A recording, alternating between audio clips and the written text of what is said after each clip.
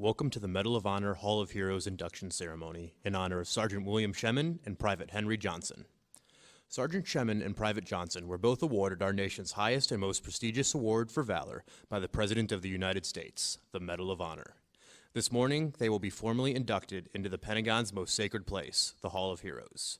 Our hosts for today's ceremony are the Deputy Secretary of Defense, the Honorable Robert Work, the Undersecretary of the Army, the Honorable Brad R. Carson, the Vice Chief of Staff of the Army, General Daniel B. Allyn, and the Sergeant Major of the Army, Daniel A. Dailey.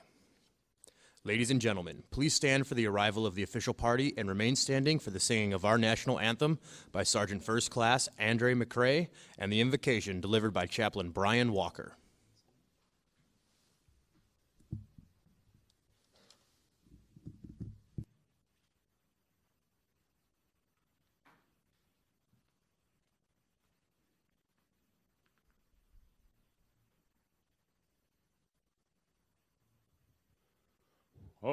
Say, can you see by the dawn's early light what so proudly we hailed at the twilight's last gleaming, whose broad stripes and bright stars through the perilous fight O'er the ramparts we watched were so gallantly streaming, and the rocket's red glare, the bombs bursting in air, gave proof through the night that our flag was still there.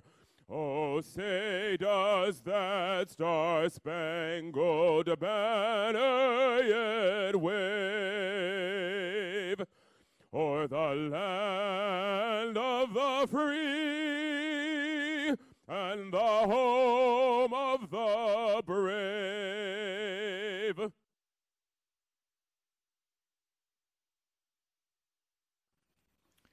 Let us pray. Sovereign God, intimately aware of your presence, we ask for your blessing upon this gathering as we prepare to honor two soldiers for whom honor is due Sergeant William Shemin and Private Henry Johnson.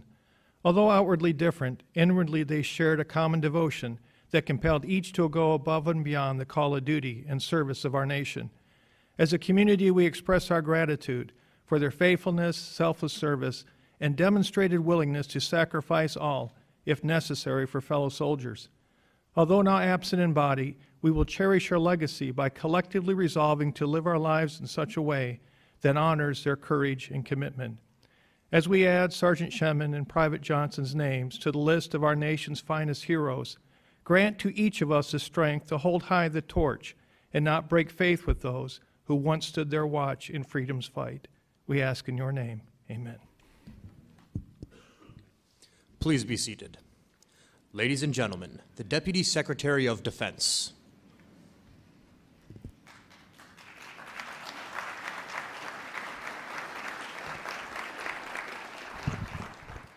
Well, good morning, everyone. What a great crowd today. Thank you all for being here. On behalf of Secretary Carter, who is halfway around the world, literally, in India, uh, I'd like to thank all of you for being here today and to extend Secretary Carter's personal thanks for all of you coming out. I'd also like to thank a couple people before starting Congressman Chris uh, Gibson from the 19th District of New York. Thank you for coming, sir. And Congressman Blaine Luetkemeyer from the 3rd District of Missouri. Both of them are here today, and I'll say a little bit more about them uh, later on. But thank you both for coming here today. I'd also like to thank uh, Senator Chuck Schumer. He was at the uh, ceremony yesterday. Uh, he had an important part to play in recognizing Private Johnson. He couldn't be here today, but members of his staff are. I'd like to especially welcome the many, many descendants of Sergeant William Shemin, who have gathered here to help us honor the bravery and heroic actions of their ancestor. I'm told there are as many as 66 of the family members here today. If you just raise your hand rather than welcome all.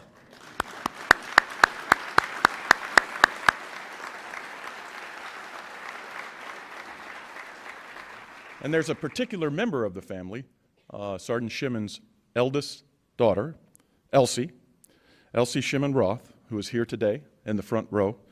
And she engaged, she personally was the one who engaged the most in trying to have her father recognized for this great honor.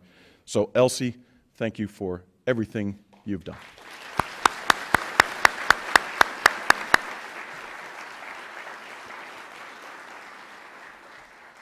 Now, today's other Medal of Honor recipient, Private Henry Johnson, unfortunately has no next of kin who could join us here today. But we are especially honored to have the State Command Sergeant Major of the New York National Guard, Lewis Wilson, who will be here today and is going to uh, accept the medal on behalf of Private Johnson. Sergeant Major, thank you very much for coming.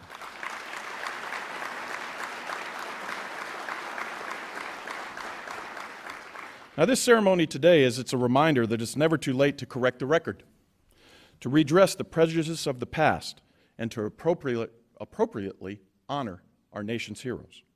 It is a feature of our republic and the American people themselves that we have the ability to correct our course and that the nation's long arc of history does not bend towards injustice, it bends towards justice. And particularly as a military institute, institution that represents literally every single member of this nation, every citizen, regardless of race, regardless of belief, regardless of preference, it is imperative that we do all we can to fix the wrongs from the past. In the case of Sergeant Shemin, it was anti Semitism. In the case of Private Johnson, it was racism. It is important that we acknowledge the injustices and mistakes of the past and rightfully honor those who's given so much on behalf of their country. Now, Senator Schumer, as I said, who couldn't be here today, said yesterday the great thing about America is that we undo our injustices more than any other country.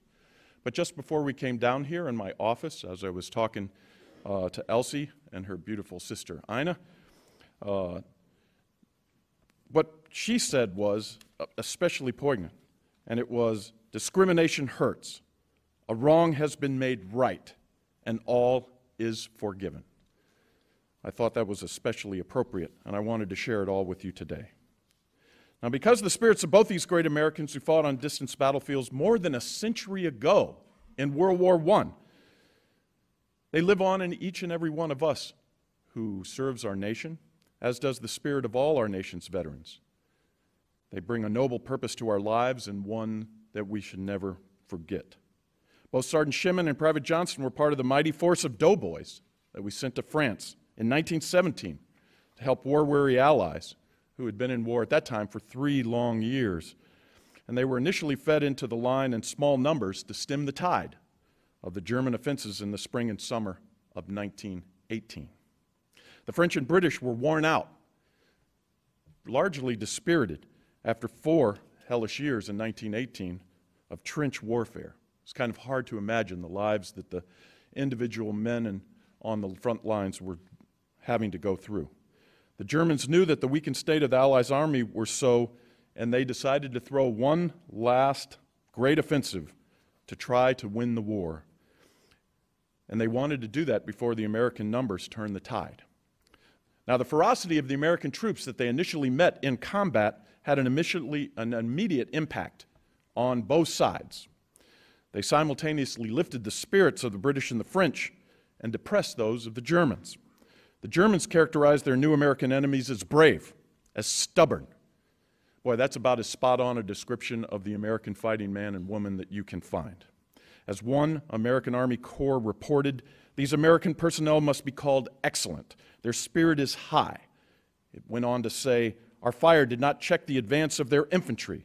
The nerves of these Americans are still unshaken. High praise indeed from an enemy that had endured long years of warfare. This fighting spirit of the Americans was demonstrated across the Western Front in places like Chateau Thierry, Belleau Wood, and the Argonne Forest, names that would enter the long line of American battle honors, and especially those of the United States Army and the United States Marine Corps. And it was that same fighting spirit that was displayed so strikingly by both Sergeant Shemin and Private Johnson.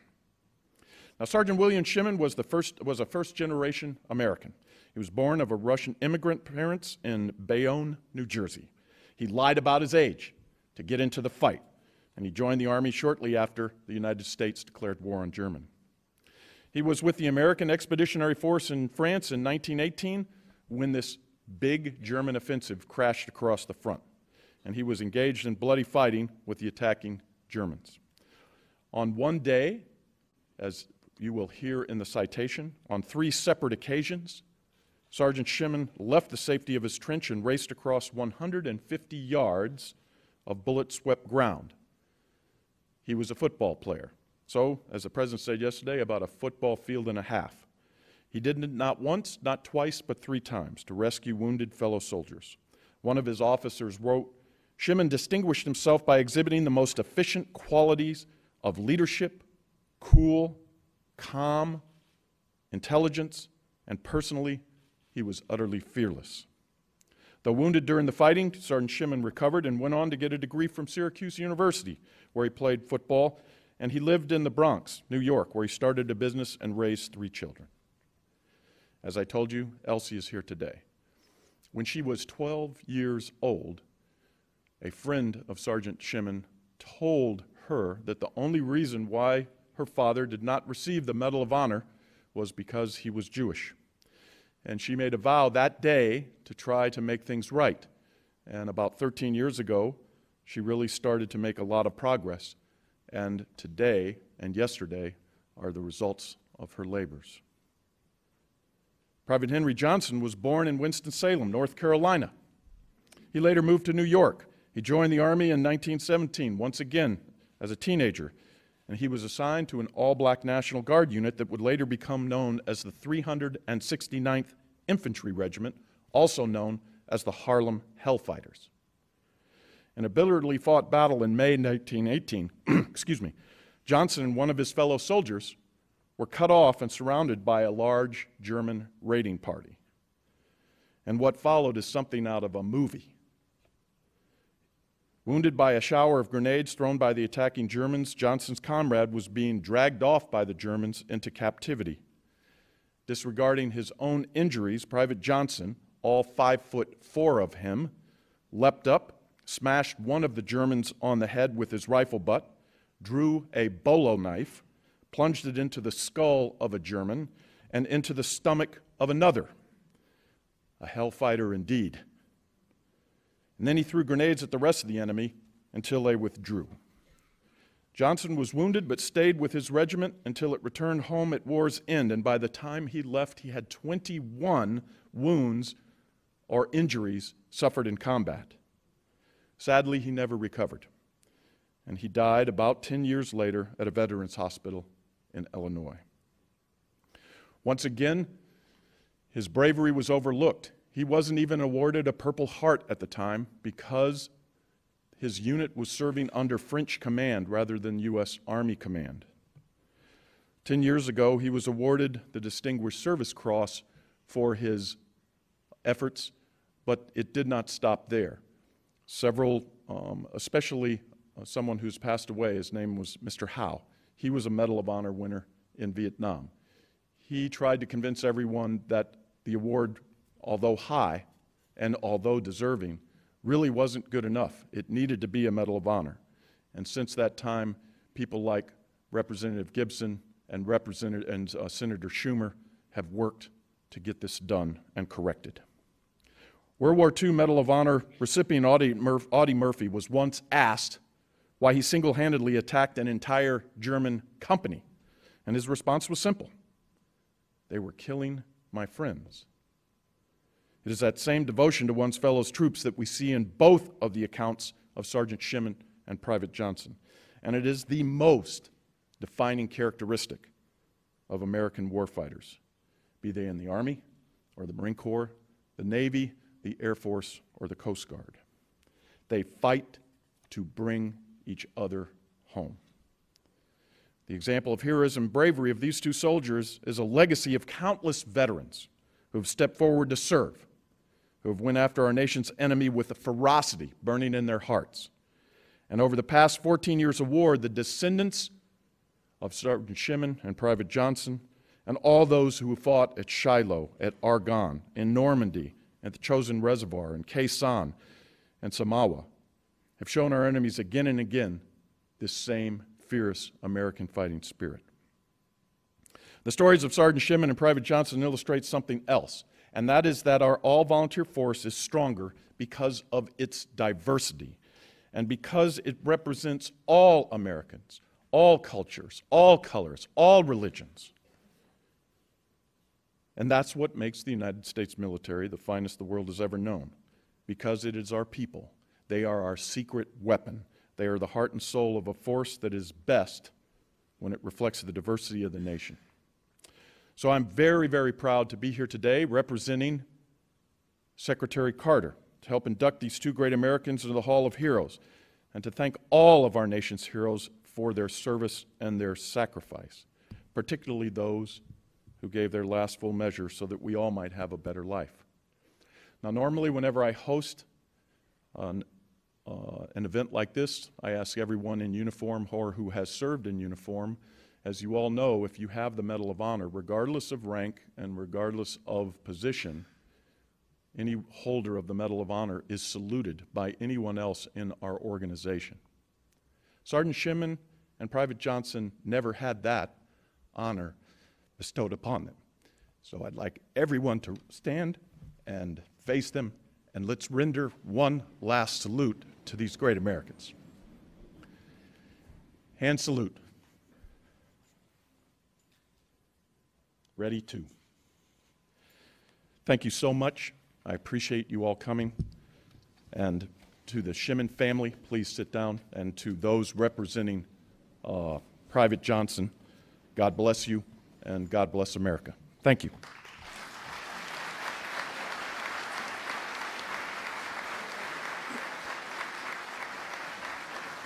Ladies and gentlemen, the Undersecretary of the Army.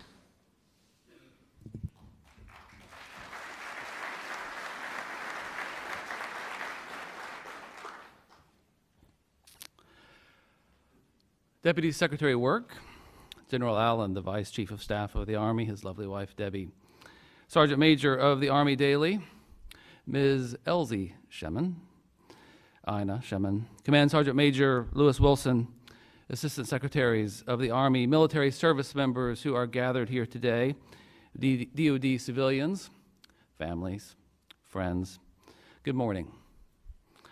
We gather here today to induct Sergeant William Shemin and Private Henry Johnson into the Hall of Heroes. It is now, as Secretary Work has already mentioned, almost 100 years, a full century, since those acts of valor we recognize today. But if time has passed, it has not dimmed, not yet, not by a long shot, the bright glow of these men's bravery and age has not yet plumbed the full depths of our nation's gratitude towards them. And if today's ceremony is a little belated, it takes nothing away from the inspiration we draw from our two recipients, whose names will now join that sacred roll, a fraternity forged in fire, alongside the other names we also honor today, if only in silence. There are graves that are alive the president of the Belgian League of Remembrance pronounced this memorable phrase in 1919 at a cemetery in which were buried many of that country's heroes from what was then known as the Great War. Such carnage over the previous years defying the notion, now known not to be true, that a second such conflict could ever occur again. There are graves that are alive. I have often thought of those words and what they mean since I first encountered them some years ago in reading a history of World War I. And now, today, on this stage, recognize the valor of Sergeant Shemin and Private Johnson, I think I know.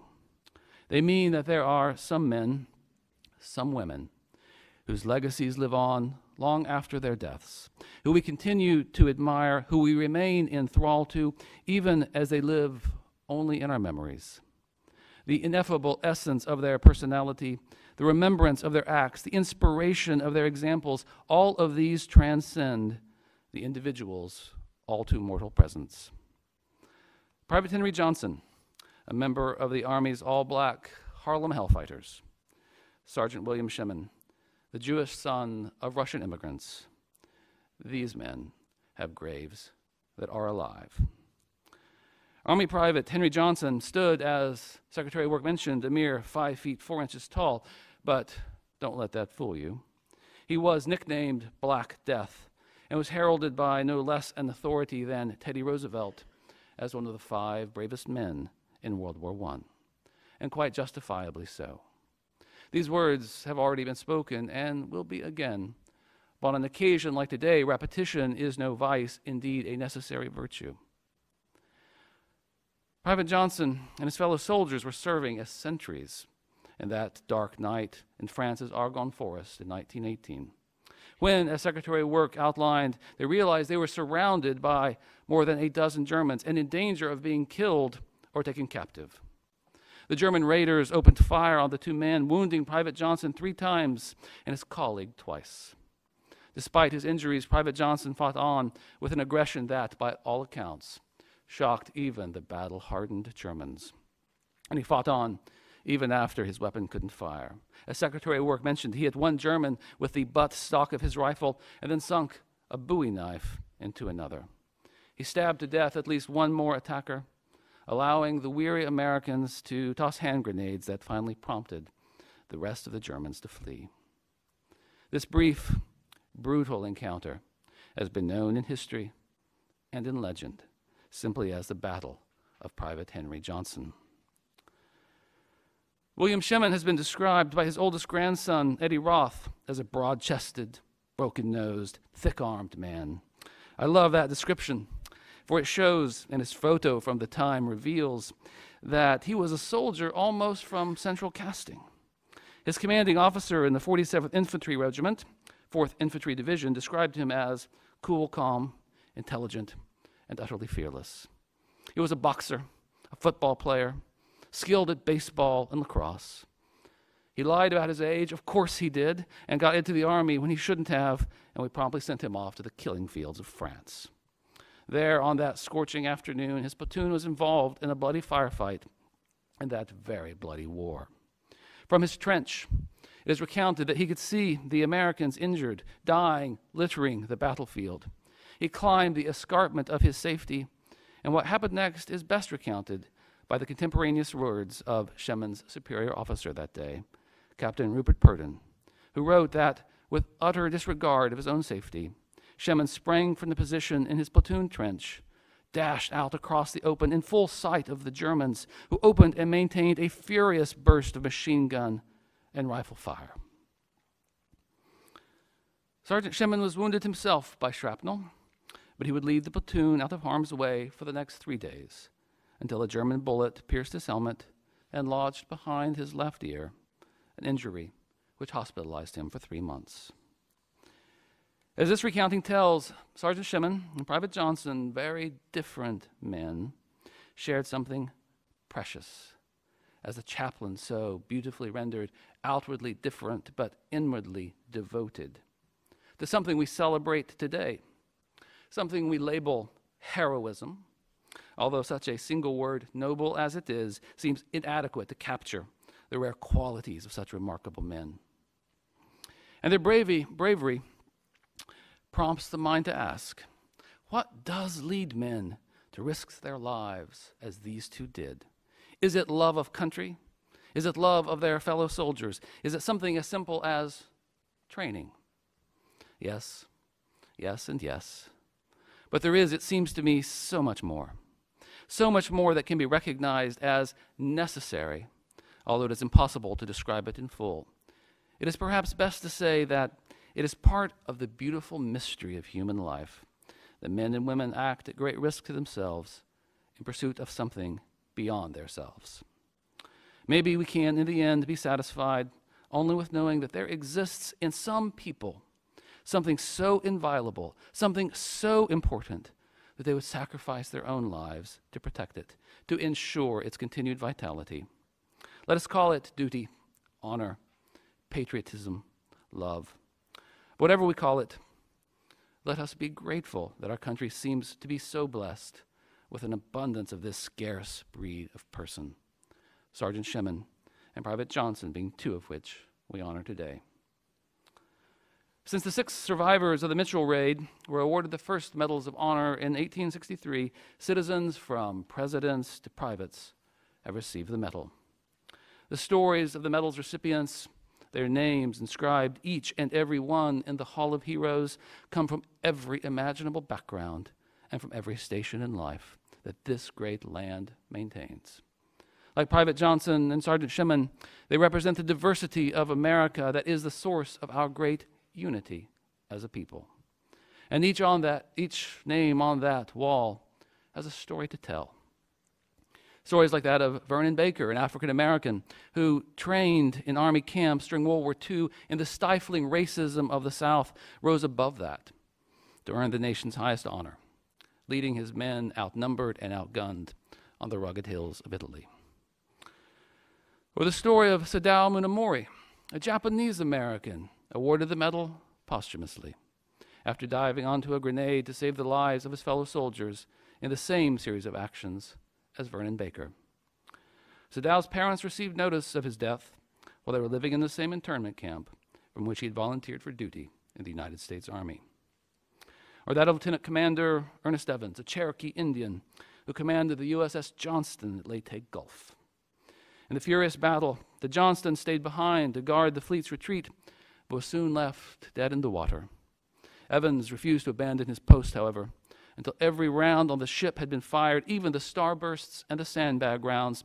It is said that when the Japanese passed the American survivors floating in the water after the Johnston had sunk, they threw them food and water and saluted them, shouting, Samurai, Samurai. As for Evans himself, he was last seen astride the deck of the doomed boat two fingers ripped off by the Japanese blast, shirtless, his own uniform burned off his body, but very much alive. His body would never be found. Some of the men and the women, too, in the Hall of Heroes hail from the smallest of towns, others from the largest of cities. Some had families who had recently arrived to this great land, others had families here since the Plymouth Rock. But all of these people, all of them, like those we honor today, had to use the immortal words of Oliver Wendell Holmes Jr., hearts that were touched by fire. The fates of Private Johnston and Sergeant Shemin after the war would not be the same. Sergeant Shemin would go to college at Syracuse. He would play football, study forestry, start a business, live a long life until the 1970s, filled with hard work to be sure, but one anchored by the eternal verities of faith and family, a family of which more than 60 join us today, led by Sergeant Shemin's indomitable daughters, Elsie and Ina. Thank you for being here today, as you and your family inspire us too. Your steadfastness over the years, your love that transcends place and time, are examples to us all. Private Johnson was honored with a parade when he returned to New York, and the French among whom he fought bestowed upon him the Croix de Guerre with palm de Vice. But the injuries, nearly two dozen, as Secretary Work mentioned, that he had sustained were never properly documented, so he did not receive so much as a Purple Heart or the medical benefits that he had earned. He would die penniless in 1929, a very young man still, his war only a decade behind him. While the lives of these men took different paths, well, why they did that, there is no way to know. Only to say that this too is one of the mysteries of human life. But one thing is certain, to say the least the graves of Private Johnson and Sergeant Shemin are still alive, still vibrant in teaching us through their heroic deeds what soldiers mean when they recite their creed.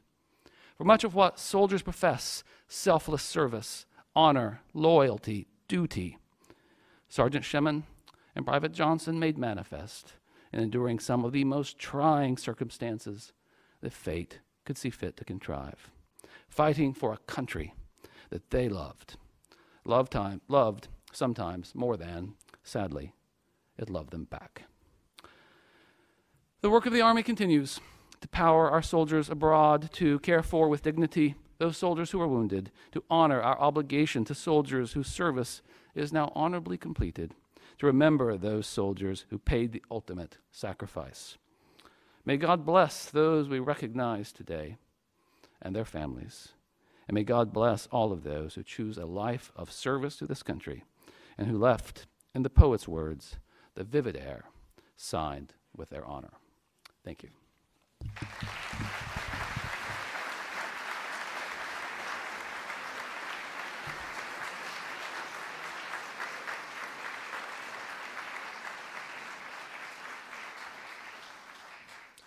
Ladies and gentlemen, the Vice Chief of Staff of the Army.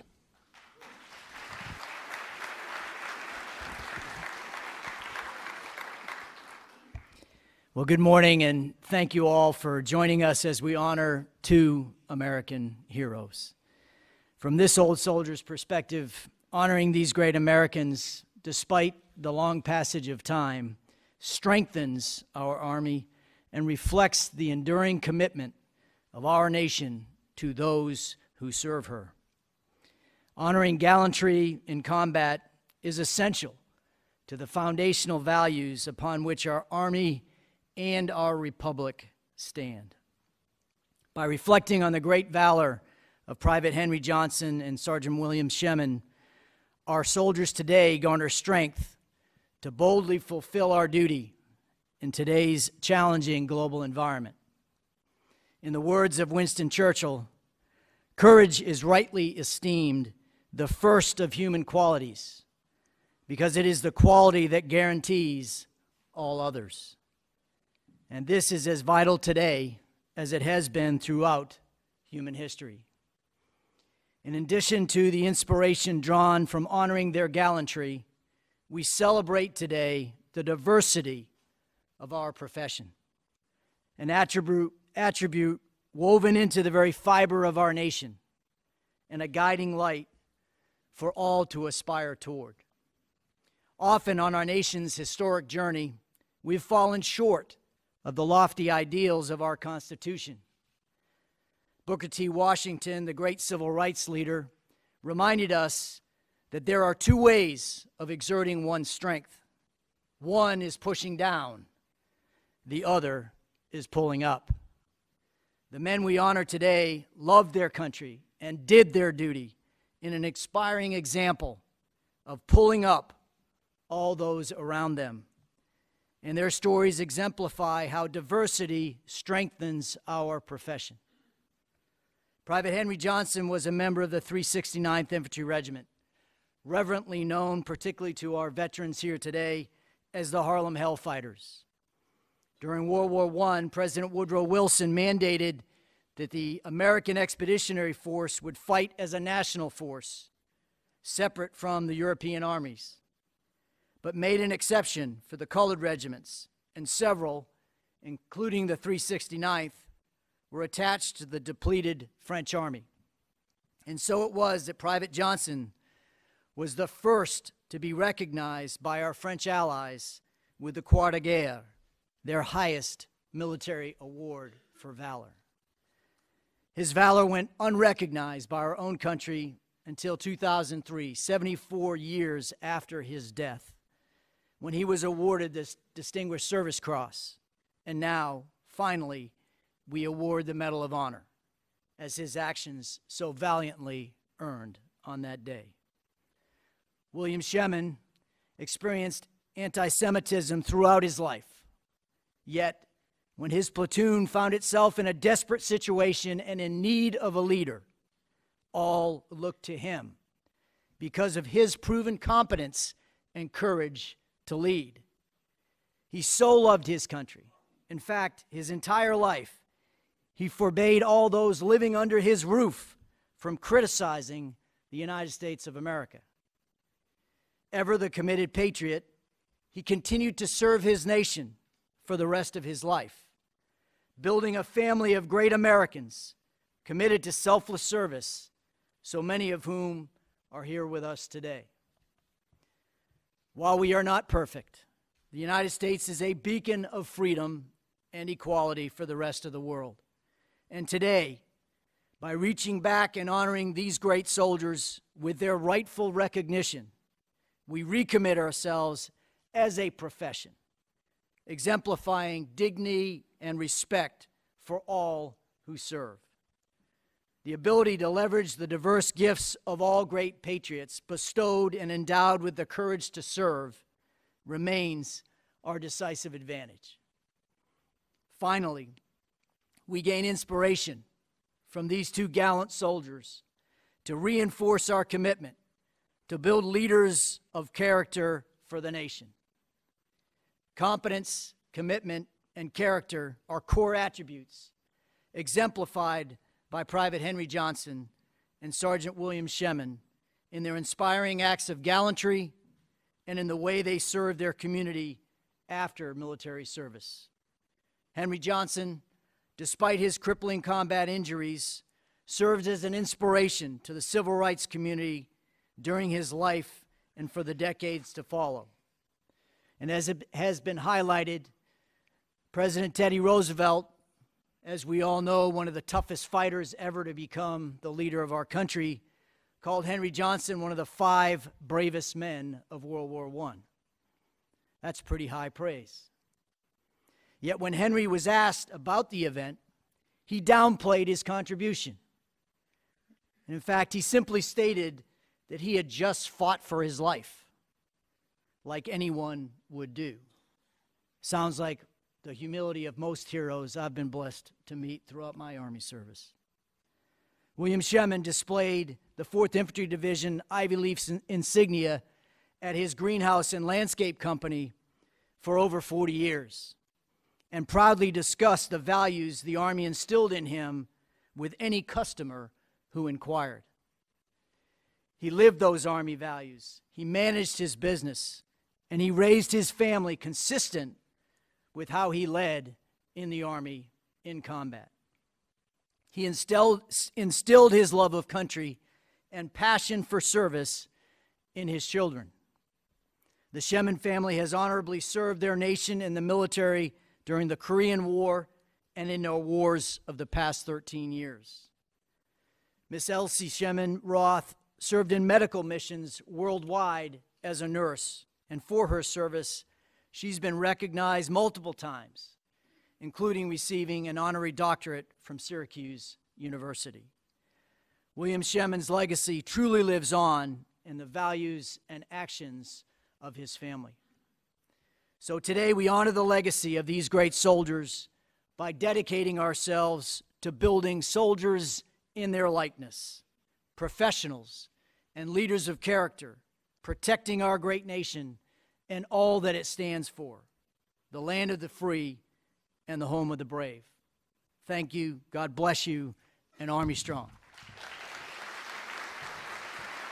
Mr. Work, Mr. Carson, Sergeant Major of the Army Dailey, and Command Sergeant Major Wilson will now join General Allyn on stage for the induction ceremony. Receiving on behalf of Private Johnson is Command Sergeant Major Lewis Wilson of the New York National Guard.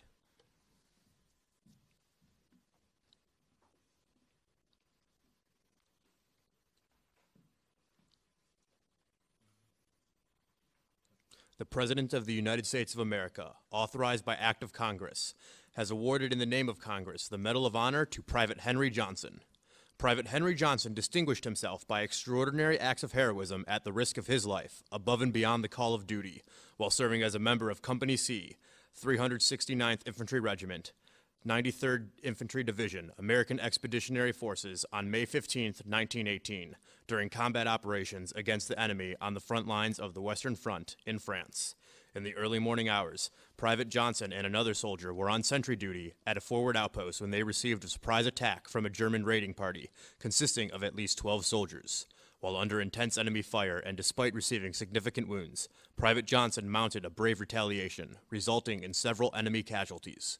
When his fellow soldier was badly wounded and being carried away by the enemy, Private Johnson exposed himself to grave danger by advancing from his position to engage the two enemy captors in hand to hand combat. Wielding only a knife and gravely wounded himself, Private Johnson continued fighting, defeating the two captors and rescuing the wounded soldier. Displaying great courage, he continued to hold back the larger enemy force until the defeated enemy returned, leaving behind a large cache of weapons and equipment and providing valuable intelligence. Without Private Johnson's quick actions and continued fighting, even in the face of almost certain death, the enemy might have succeeded in capturing prisoners and the outpost without abandoning valuable intelligence. Private Johnson's extraordinary heroism and selflessness above and beyond the call of duty, are in keeping with the highest traditions of the military service and reflect great credit upon himself, Company C, 369th Infantry Regiment, 93rd Infantry Division, and the United States Army.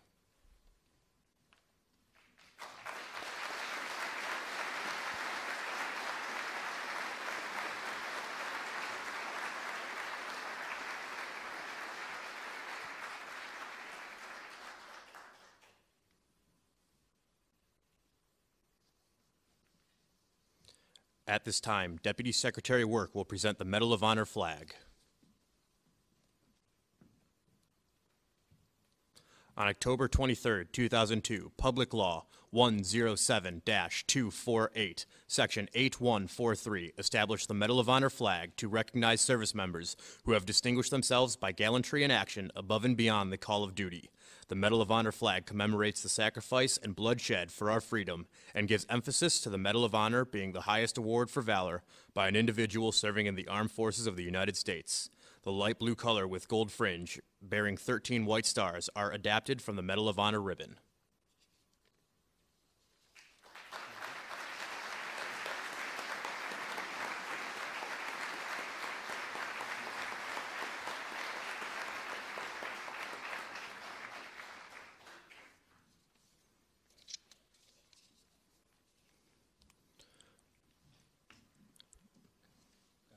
Receiving on, on behalf of Sergeant Shemin are his daughters, Miss Elise Shemin Roth and Miss Ina Shemin Bass.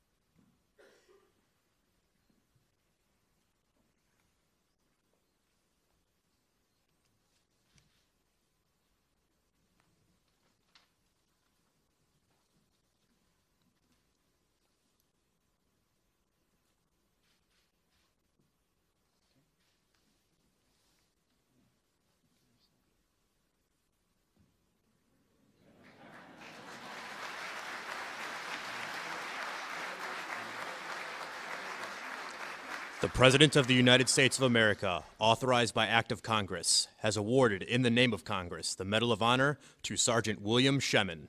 Sergeant William Shemin distinguished himself by extraordinary acts of heroism at the risk of his life above and beyond the call of duty while serving as a rifleman with G Company, 2nd Battalion, 47th Infantry Regiment, 4th Division, American Expeditionary Forces, in connection with combat operations against an armed enemy on the Vesle River near Bazoches, France, from August 7th to August 9th, 1918. Sergeant Shemin, upon three different occasions, left cover and crossed an open space of 150 yards, repeatedly exposing himself to heavy machine gun and rifle fire to rescue wounded. After officers and senior non-commissioned officers had become casualties, Sergeant Shemin took command of the platoon and displayed great initiative under fire while until wounded on August 9th. Sergeant Shemin's extraordinary heroism and selflessness above and beyond the call of duty are in keeping with the highest traditions of the military service and reflect great credit upon himself with Company G, 2nd Battalion, 47th Infantry Regiment, 4th Division, American Expeditionary Forces, and the United States Army.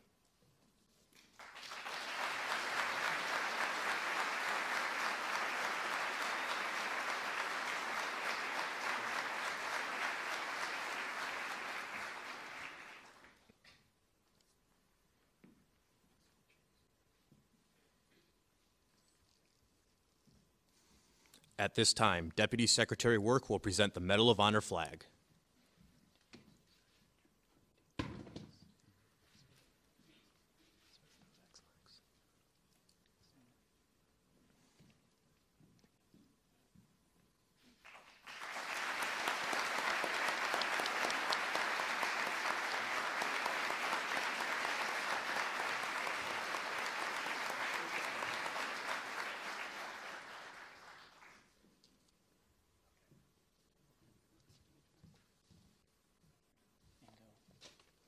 The plaque will now be unveiled, inducting Sergeant Shemin and Private Johnson into the Hall of Heroes.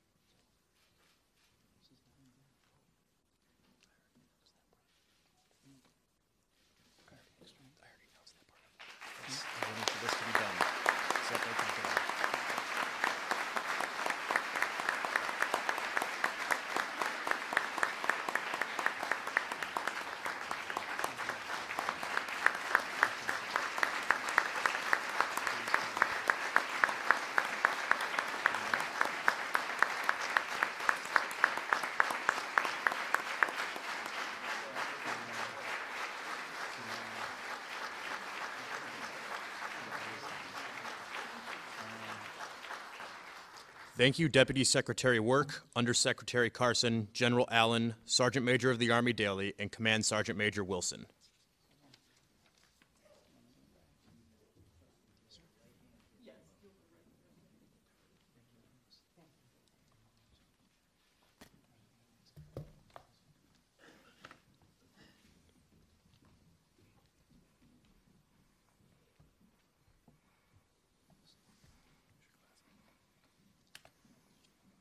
Ladies and gentlemen, Miss Shemin Roth.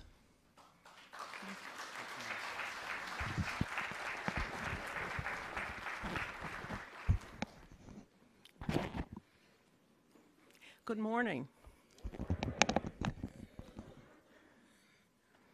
Secretary Work, Secretary Carson, General Allyn, Sergeant Major Dailey, and other senior leaders of our armed forces, members of Congress,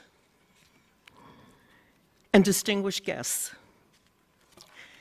What a privilege it is to stand with you today how deeply honored my family and I are, and my father would have been, to share this happy day with so courageous a figure as United States Army Private Henry J- Johnson. How wonderful that these two brave men are being honored together. I grew up knowing that my father was a hero in the Great War. He never talked about it.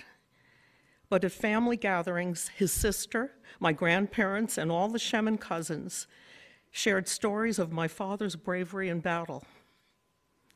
When I was a young girl, my Aunt Mildred, who was my father's sister, showed me a meticulously kept scrapbook that she had compiled.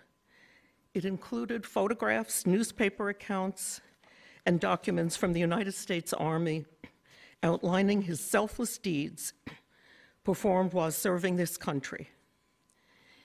This was the first time I had a sense of what my father, at 19 years old, had to endure in order to save the lives of his fellow soldiers and his own. One day, when I was about 12, I was sitting on our porch chatting with Jim Pritchard, a big, smiling Irish policeman.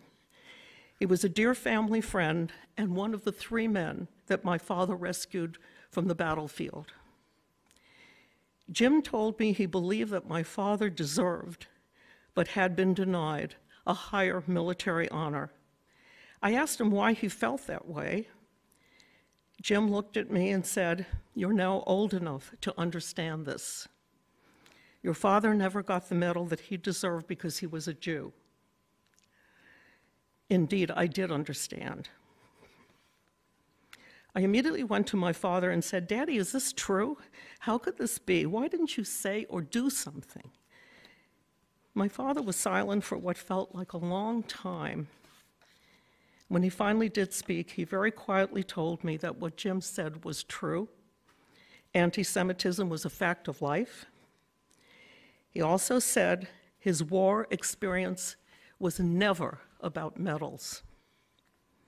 He said he was fully satisfied with having received our nation's second highest military award, the Distinguished Service Cross. He was just honored to have been able to serve his country. He did speak about name calling by anti Semites and about fistfights that sometimes followed. However, anyone who physically engaged with my father probably did not know he was a boxer, a wrestler, or that he excelled in long distance swimming, semi pro baseball, and later played varsity football and lacrosse at Syracuse University. By the way, he was 5'10 and a half, weighing 190 pounds of solid muscle. One could almost feel sorry for the other guy. we never discussed it again because the bottom line was this he was proud to have been a soldier in the United States Army's 4th Division and to fight for this great country. I left it alone because it pained him to dwell on a negative aspect of a time that he, in his life, that he felt so proud of. But it never really sat well with me. and I would think about it from time to time and wish that there was a way that I could help to make it right. In 2002, there was an opportunity for congressional review of the service records of Jewish members of the armed forces who may have suffered anti Semitism. I jumped at the chance to engage with the Leonard Kravitz Jewish War Veterans Act, which included a complete review of all Distinguished Service Cross awards, but beginning at World War II. For eight years, I spoke to a multitude of people supporting this effort. I wanted to understand why they drew the line at World War II. Anti Semitism, wherever, whenever it occurs, is disgusting. I needed to know why we weren't including soldiers of the First World War or any other war for that matter. No one could give me a logical answer. So I kept looking for a way to encourage reviews of allegations of anti Semitism prior to World War II. That's when I received a call from Colonel Erwin Burtnick, retired, of the Jewish War Veterans. Colonel Burtnick is an expert in awards and decorations. He reviewed my father's citation and said that he felt that it did deserve an upgrade. He encouraged me to speak to my local congressman and start the process of requesting a review. At the time, I was living in the small town of Labadie, Missouri, in Franklin County. My congressman, Blaine Luetkemeyer, immediately said he would help me Congressman Luetkemeyer, his wonderful staff, and Colonel Burtnick took this on full force. It has taken us together, the three of us, 13 years to get here today. This would not have happened without them. Thank you, both of you. Erwin, wherever you are, thank you from the bottom of my heart.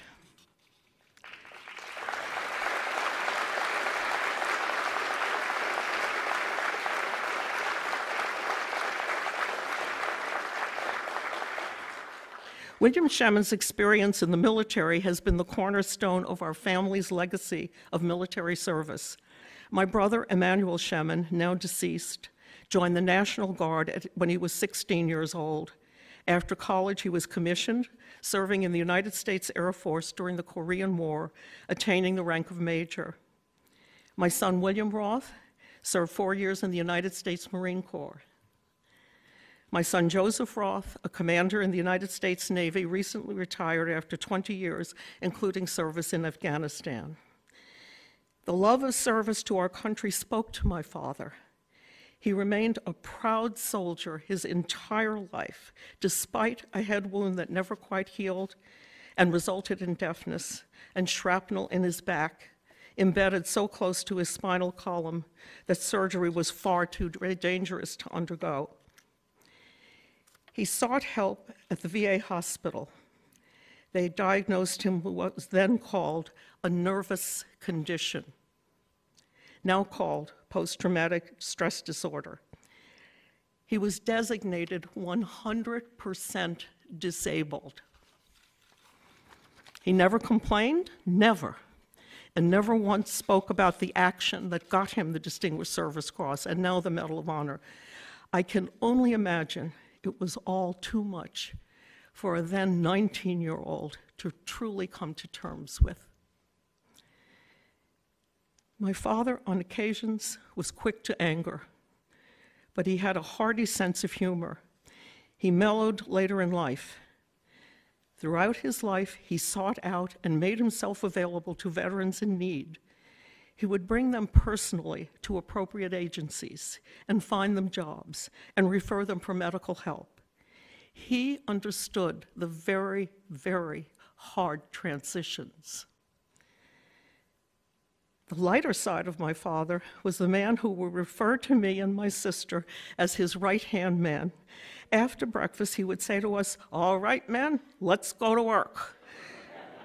He would also, we also had to police the grounds every day. And everything had to be done in a military manner. And I mean everything. There were 14 grandchildren, 10 girls and 4 boys. They all know how to salute. as well as raise, lower, and properly fold the flag, and they all completed Sergeant Shemin's rigorous basic training. I would now like for you to meet the other right-hand man, my wonderful sister, Ina Shemin Bass. There she is.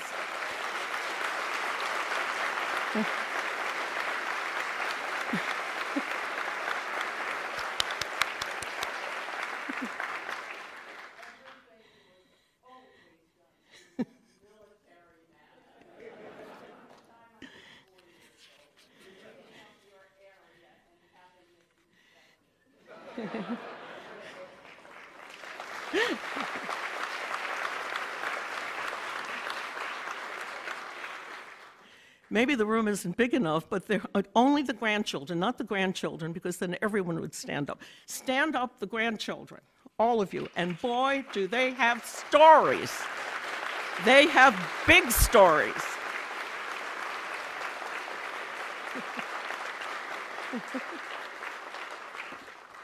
During the Depression, my father and dear mother Bertha raised three children. They sent us all to college. Together, they also ran a greenhouse and nursery business that they were able to turn over to my brother. My brother built on this success. Shemin Nurseries is considered the gold standard in horticultural agribusiness and can be found in 12 locations in the United States, including one here in Washington, in Israel, in Holland, and in Canada. My father often said it was pure luck that several people just happened to see his action. So many brave men and women performed heroic acts that were never witnessed or acknowledged. I wish to accept this medal on behalf of them, too. This supreme honor is in the name of William Shemin, but it would please him if it also were dedicated to the fallen, the survivors, and the families who did not have the proper paperwork or representation depicting their valor. I hope to share this story across our country and ultimately place the medal in an appropriate museum. Finally, I want to leave you with this very, very important message. Whenever the United States has been threatened, Jewish Americans have been willing to make the ultimate sacrifice and fight for all the great things our country represents. We volunteer in numbers greater than our small population would indicate. We serve with distinction in units and divisions that are direct that directly engage the enemy, such as the infantry, such as the 4th Division of the United States Army. On behalf of Sergeant William Shemin, our family and friends, we thank you for being here to honor him. This true story could happen only in America.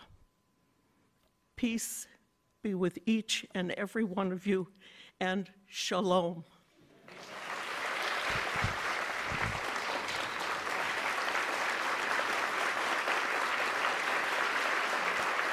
Thank you.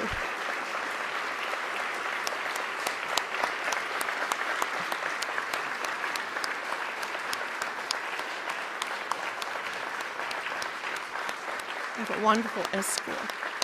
Thank you, thank you, thank you.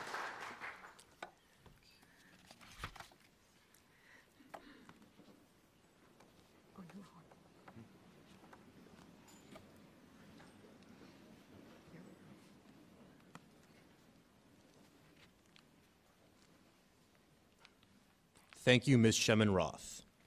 Ladies and gentlemen, Command Sergeant Major Wilson.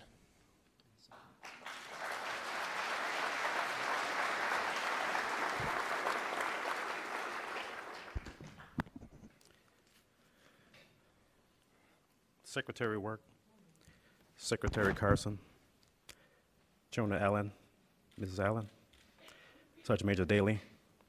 Just like to add a couple more here. Congressman Gibson, Major General Murphy, Major General retired James, uh, my wife Teresa, and a friend we made this week, Ms. Tara Johnson. And all other senior leaders of, the, of our armed forces, members of Congress, and distinguished guests. It is my honor to join you today during this historic occasion. I've, seen a lot wearing this uniform for, for the past 39 years. I entered the service during the Cold War when training focused on a single threat. I've seen our Army transform and shape itself for the threats of the new century. I've trained soldiers at every level, from uh, section to battery, battalion to brigade, and a general officer command. Now I serve as the senior enlisted advisor to the commander of the New York Army National Guard and its 10,000 soldiers. I've served my neighbors in countless disasters from blizzards, fires, floods, hurricanes, and to assist in putting boots on the ground for 9 11. Few achievements have ever come close to the pride I feel in accepting the Medal of Honor on behalf of Sergeant Henry Johnson. Henry Johnson displayed the highest ideals of our Army values long before they were taught to our soldiers. In a time when Henry Johnson knew that his actions, his conduct, and his, his Harlem Hellfighters Regiment, and even his race uh, were under scrutiny across the Army and our country. Will the Hellfighters perform to the same Army standards of all, of all the white units? Was Henry Johnson just as worthy as all the soldiers in the American Expeditionary Force? What we take for granted today was sadly in doubt a century ago. In a way, I appreciate that scrutiny. Just 10 years ago, I mobilized for war and served with, with a National Guard task force in Iraq. At this time, uh, at that time, just over half of the American forces in Iraq were from the Army Reserve and the Army National Guard. Would citizen soldiers perform to the same Army standards as regulars? Was I just as relevant a member of our total Army? We take for granted today the role of all our soldiers in the force, but believe me, in 2005, there were all still doubts about the relevance of the reserve component. Like Henry Johnson, I had something to prove, and that the extra load in my ruck helped, me mo- help motivate me and my soldiers not just to succeed, but to excel. We are a professional, profession of arms that values our history, our traditions, and our heroes. We teach those values and that history and that history to each new generation of soldiers. Henry Johnson was always been that hero to the 369 Infantry, to the New York National Guard, and to now our Army and nation. Henry Johnson rushed from Albany, New York to the regiment's recruiting station in New York City in the spring of 1917, knowing full well that the National Guard's 15th New York Colored Infantry Regiment was going to war in Europe. With the weight on his shoulders, Johnson mobilized and joined the now famous Harlem Hellfighters, the 369 Infantry Regiment. Alongside his fellow soldiers, Johnson faced down adversity, first in deployment training here in the States, where white regiments and many communities looked down on the regiment, and even after arriving in France, where the unit served as manual labor before move, moving into combat and serving under French command, where combat readiness was more important than color. We recognize his loyalty, his duty, his respect, his selfless service, his honor, integrity, and personal courage for Johnson's actions in the spring of 1918. But in the end, Henry Johnson's bravery was really just inspired to protect his battle buddy, Private Needham Roberts. Attacked by a raiding party of more than a dozen enemy troops, Johnson fought off intense enemy fire and ignored his own wounds to save the life of his badly wounded comrade. He would become the very first American soldier to receive the French Croix de Guerre to recognize for his heroism. I am proud that our nation has now recognized him as the Medal of Honor for his actions. I am honored to stand here today on behalf of our men and women of the New York National Guard, today's citizen soldiers, to carry on Henry Johnson's legacy. And after 39 years, this is a moment that will carry forward beyond my career for future generations of citizen soldiers. Thank you for the opportunity and being here today, and God bless.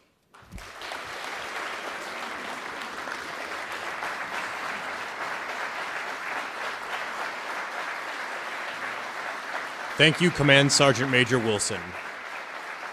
Ladies and gentlemen, please stand and join in the singing of the Army song. The words to the Army song can be found in your program.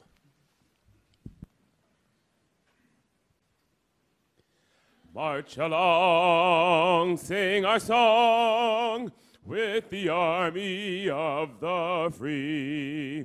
Count the brave, count the true, who have fought to victory. We're the army and proud of our name. We're the army and proudly proclaim. First to fight for the right and to build the nation's might, and the army goes rolling along. Proud of all we have done, fighting till the army, and the army goes rolling along. Then it's high, high, hey, the army's on its way. Count off the cadence loud and strong. For wherever we go, you will always know that the army goes rolling along.